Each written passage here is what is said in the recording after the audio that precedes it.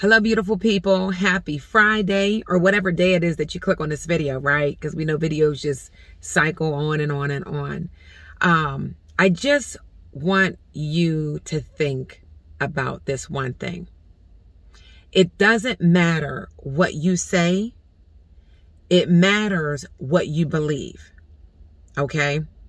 It doesn't matter what you say. So people will tell you just be positive, speak positively, and all this stuff, right? And that stuff works. You need to start speaking things as though they exist. You need to act a certain way so that those things, you know, you're in that habit, if you will. But if you do not believe that it is possible, if you don't believe that you are worthy, if you do not believe that these different opportunities are for you, you won't do the work necessary in order to achieve that thing that you said that you're going to do or the things that you want. All right. I don't want you to miss that. Yes, you need to speak over your life. Life and death is in the power of your tongue. Yes, you need to visualize where you want to be, how you want to be there, how it's going to feel when you hit those certain goals, whatever it is, right? Whatever it is you have to really be able to get into that mode. That's energy. Everything in this life, everything is energy.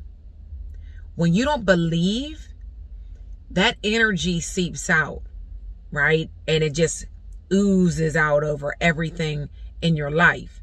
That's why people will say, I don't believe you.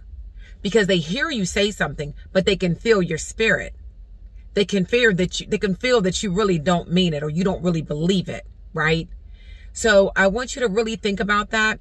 We're in the second half of this year. All right. We are in July. We have six months left. And it doesn't matter.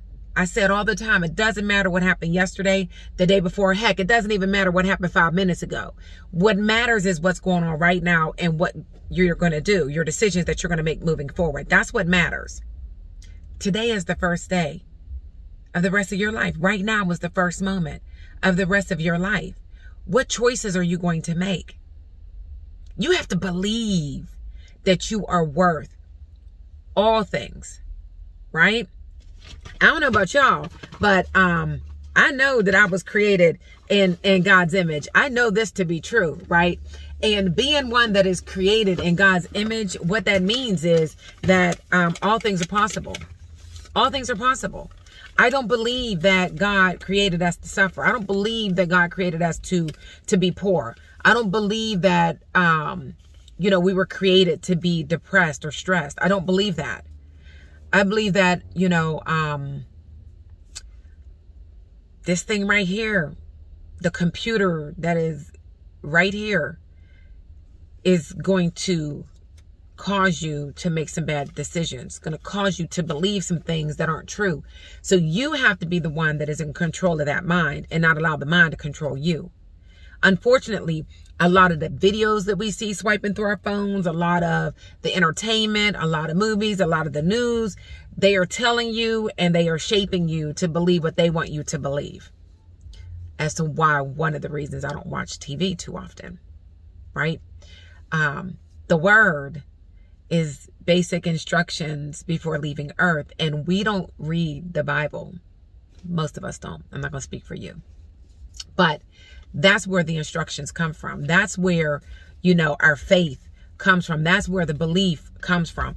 Continually reading and listening and praying for understanding, right? And then not believing that the trials and tribulations that you're going through are where you're supposed to stay. You're supposed to go through them to get to the other side so that you can then help somebody else going through it to let them know that there is light at the end of that tunnel. We were not created to suffer. So while you're staying in a situation, staying in a business, staying in an opportunity that is literally killing you, that's a choice. By not jumping and doing something different because you don't know it or you're uncomfortable or um let me get out this car. Um that's just it that you're uncomfortable with doing something new. Guess what? When you started that job where you are it was uncomfortable. You had to learn that job right? You had to learn that business. Why stay stuck in something just because you know how to do said job when God has put in you um, a gift. He put in you vision. He put in you a business. And all you're doing is holding on to it. You know how many how many individuals have died without doing what they're supposed to do? Millions. Gotta go. Have a blessed day. Have a blessed weekend. Be intentional about the things that you're doing, what you're saying, what you're thinking. When those negative, bad thoughts come back in to remind you of where you've come from, um, kick them out. You have a choice. You're no longer in, hopefully, you're no longer in those situations. And the memories are just there to try to keep you bound.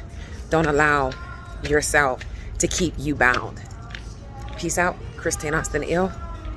Put your comments below. Share the video. Hopefully it can bless somebody else. Peace.